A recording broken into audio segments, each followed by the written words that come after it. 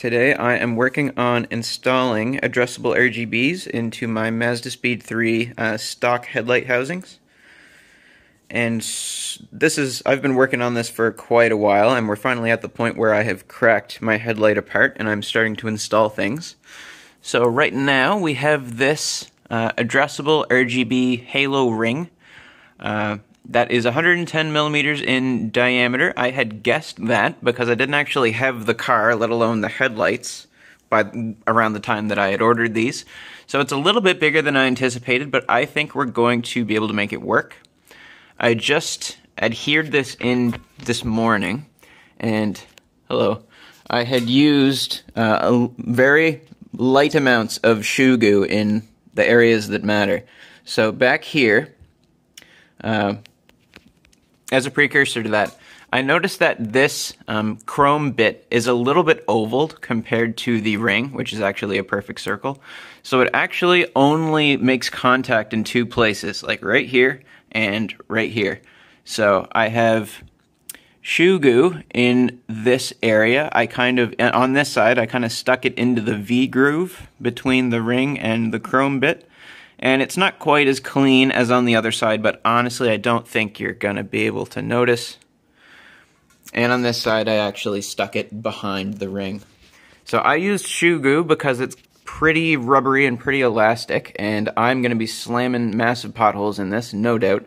And if, if I ever get out of the car and I see this thing hanging off one day, I am going to cry. Because that means that I need to unseal them again and fix it properly. But I I have a pretty decent feeling that this is going to be all right. It is, you know, it's flickable. It just needs to deal with the weight of itself. And uh, yeah, so this ring has an input and an output. Each one is three wires, 5 volt ground and signal. So the input to this ring I have snaked through, see if I can get it on camera, snaked it through the side of this boot. So Mazda has this boot back there, the thing with the yellow wire hanging out. Uh, they have a bunch of wires potted into there, and I am just shoving my three wires alongside of that. I figure if I do that and I fill it with grease, it should be pretty waterproof and all right. So that's our that's our input from the outside world into the headlight housing. So I'm just using these these connectors, which seem to be the standard for addressable RGB strips, I have a million of these after ordering so many LED strips in trial and error trying to figure out what I was going to use for this project.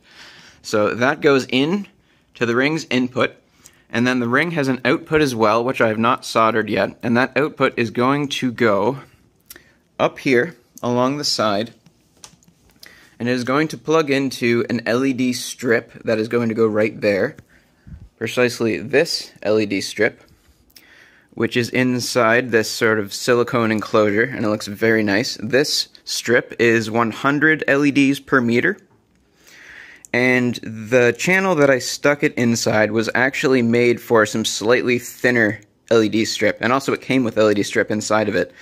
So my way of getting this done cheaply, because if you want addressable RGB strip, inside this sort of housing and you buy it as is, it's friggin' expensive. So what I did is, uh, and it's not available on Amazon at all. So what I did is I bought this stuff, which just had boring white LEDs inside of it, and I slid it all the way down. This is the bottom side. This is the side that's going to get taped down, so you're not going to see this. And I bought some pretty sexy 100 LEDs per meter strip and I stuck it in there. A bit of a pain in the butt, but you only have to do it, you know, once per headlight. So this is going to go inside there. And we're going to use some double-sided tape, and we're going to clean it up all good so that it stays in there for the life of the install. I pray to God. Uh, so this is going to go in here, and the input to this strip is going to be right here, which once I attach this is going to be up here. So into the light, into the ring, out of the ring, into the strip. Alright, progress update. this stuff is taped in there, and I've spent way too much time fidgeting around with it, and I think it looks pretty good where it's at right now. You will see the final product, obviously, when I'm done. And it is currently hardwired to the light, so right now this is a little bit annoying because these two things can't get too far away from each other. But I plugged it in, it does work, it does look amazing. And right now, I'm giving this stuff a try. So since this doesn't have any more rubber on it, like the original one had from the original butyl rubber application, we need to add some new stuff. I really do not want this to leak and get moisture on the inside. So this stuff I got off Amazon, not too expensive, and I am just stretching it out a little bit and then placing it on top. And once I have done a full lap around, I'm going to massage it down a little bit more. And then we can start thinking about uh, sealing this thing back up for real. Alright, it has been a while since I filmed anything because it's a friggin' shitload of work. But look at it. We got our LED ring in there. We got our strip on both sides. And I'm currently working on wiring everything up. There is indeed a 3-pin connector coming out of this guy and coming out of this guy that there were not previously. And I have wired these guys up so that's going to the microcontroller. That is going to the LEDs. That's for this side because it's really close. And by the way, I didn't mention this yet. I'm shoving everything in the fuse box. And hopefully I do not short anything out. I don't think I'm gonna.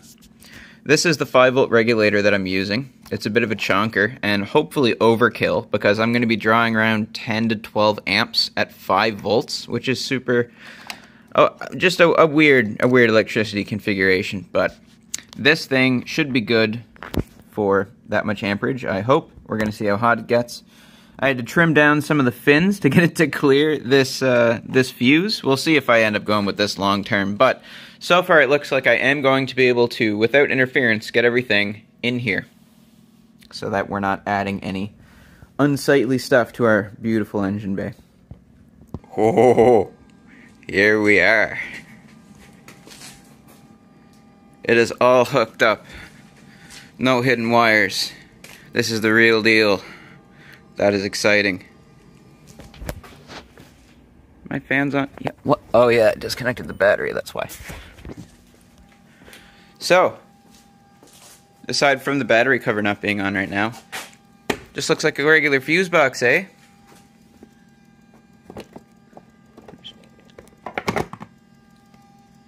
Nope. Some idiot's been in here. So to explain this a little bit, we got the 12 volt to 5 volt regulator that is getting fed power from right here. I tried to make this not a super hacky bodge job, but we're splicing into wires here. So the thick gray wire is ignition. So only whenever the key is, well, when the button is pushed in the correct orientation. Does this get power? And this other gray guy down here happens to be a ground. I said earlier I couldn't find a ground. I started probing around and I found one. I hope it, you know, isn't a ground attached to a relay or something. Anyway, it's working so far. So this is the power for everything. Only active whenever the vehicle is actually on. Goes to this thing. This thing spits out 5 volts. Goes to this Arduino, which I really should have taken some pictures of before I wrapped it up. But there's a lot of wiring going on in there. And that is hooked up to this Bluetooth module. And its outputs are going to the headlights. So I'm actually quite happy with how clean this looks. So this this cord, uh, this is three conductor wire. It's actually made for like house appliances. I got it from Home Depot. And I wanted something that was black and held the three conductors and wouldn't look totally out of place in an engine bay. I think it looks pretty alright. So we got, they terminate there, they go down. One of them ends like right here, it's really short. And then the other one is taking a trip along with one of the radiator hoses down there. Hopefully the heat won't be a problem for that. It's, it's fine, it's fine. And it goes under that, all the way. And then down here, it connects. And it works! Man, I'm so stoked. Another thing, another thing uh, I noticed is when you turn the car off, this circuit stays on for a little bit, like 30 seconds. I'm gonna have so much fun walking away from the car with these lights still going. I'm such a dork.